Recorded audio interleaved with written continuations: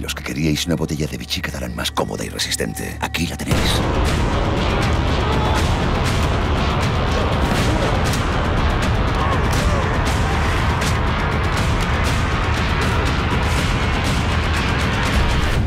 Descubre más en nuestro canal de YouTube, Vichy Catalán. En el Valdireleu se enfrentaron la Unión Esportiva Zamboyana y el líder del Grupo B de División de Norbe, el Club de Rugby La Vila. Ahí vemos las formaciones en pantalla, los 30 titulares que han salido en el templo del rugby español.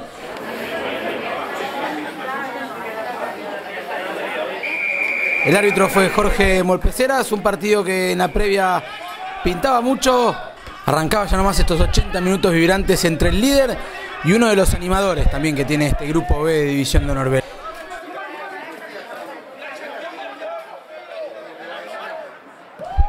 Quien iba a abrir el marcador iba a ser justamente el líder, el Samboy que intentaba salir del fondo con un chute largo, el fenomenal zaguero que tiene la vila Matías Jara que inicia un contraataque, una jugada en penetración pegadita a la formación, un rack dinámico, algo que tiene acostumbrado a todos los que han enfrentado a la Vila en esta temporada. Muy buenos pases en el contacto del equipo fuera de casa que acabarían con el ensayo del número uno del pilar de Miguel Ponce, pegadita a la bandera izquierda.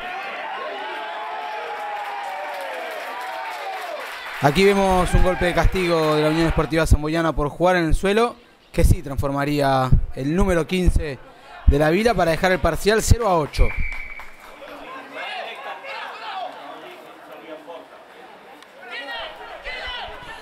En la segunda parte también iba a golpear primero el equipo visitante. Lo mismo, con varias fases, con un juego muy controlado en ataque. Samboy intentaba prevalecer en defensa, pero la experiencia y el poderío físico que tiene el equipo de Villajoyosa hicieron casi imposible la tarea del joven equipo que presentó su entrenador Diego Godoy. Veamos ya la incursión del número 13, Iván Agudo, traspase del pequeño Kirelli Tampoco sería la transformación de Matías Jara en el marcador. 0 a 13. Cuando el Zamboy por fin podría descontar mediante el pie de Víctor Cuenca, que volvió luego de una larga lesión en la, segunda parte. Nuevamente otro golpe para la Vila, que facturaba Matías Jara, el goleador que tiene la división de Norbe en su totalidad, no solamente en este grupo. Intentaba Zamboy jugar con los tres cuartos, Error a la mano, muy buen contragolpe del primer centro de la Vila que descarga con el número 22, con el recién ingresado Bernabeu, quien terminaría apoyando también cerquita de la bandera izquierda.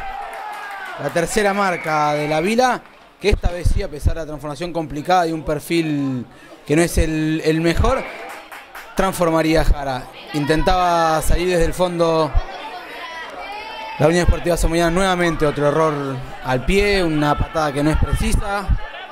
Toma de contacto de la Vila. Esta vez el juego lo hacen lento. Juega Kirelli. Nuevamente rack dinámico de, la Vila. Otra vez el juego rápido. Esta vez para el número 10 para Carrión.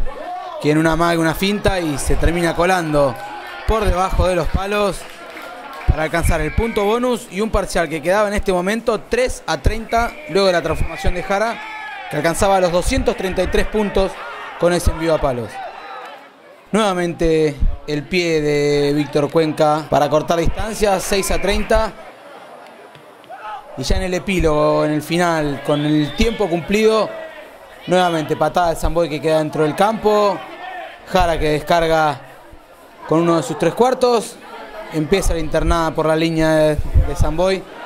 Fallas en el placaje y nuevamente número 13, Iván Agudo, que termina marcando una dopieta. Para un resultado final 6 a 35 a favor de la Vila. Escuchamos a su entrenador Hernán Kirelli que nos decía esto tras los 80 minutos en el Valdiraleu. Estos chicos de, la cantera del Samboy que lo ponen difícil a todos los equipos, ¿no? Fue un partido muy duro, muy bonito, la verdad. Eh, el resultado no, no dice lo que, lo que fue el partido porque lo definimos en los últimos minutos por una cuestión de, de desgaste durante todo el partido. La verdad que veníamos, esperábamos un partido duro y, es lo que nos encontramos y también es lo que nos viene bien a, nosotros y obviamente también a estos chicos también que no solamente son un equipo duro físicamente, sino también juegan bien. Intentan jugar, eh, nos movieron mucho en defensa. Eh, nosotros mantuvimos la paciencia, yo creo que ahí estuvo nuestra principal virtud en la, en la defensa. Por ahí el ataque hoy no salió tanto por, la, por la entidad del rival, pero bueno, estamos contentos por eso, fue un partido duro y lo logramos resolver.